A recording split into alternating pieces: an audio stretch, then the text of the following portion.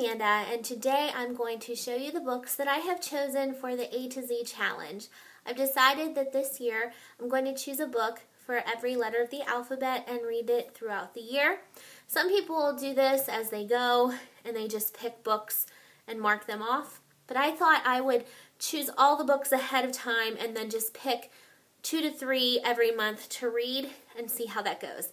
I really enjoyed finding the books. It was kind of fun and a bit of a challenge to find a book for every letter, but I think I did it. So here we go. The first one is Afloat by Erin Healy for A. Next is Black and Blue by Anna Quindlen for B. Then we have Choke by Chuck Palahniuk for C. Dust by Joan Frances Turner for D. Elsewhere by Gabrielle Zevin for E. Flashback by Dan Simmons, F. The Good Sister by Drusilla Campbell. G. Human Point 4 by Mike, Mike A. Lancaster. H. Creepy cover. I Capture the Castle by Dodie Smith. I. Jerk California by Jonathan Friesen. J. J. Kill Me by Stephen White. K. Lucky by Alice Sebold. L. Me and Earl and the Dying Girl by Jesse Andrews for M. The Nightmare Thief by Meg Gardiner. N. Obedience by Will Lavender. O.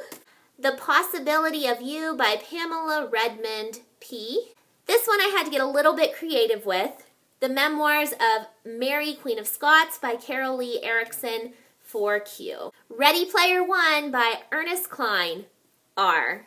Save Me by Lisa Scottoline, S. Trafficked by Kim Purcell, T. And I just finished this book, so I have read one so far.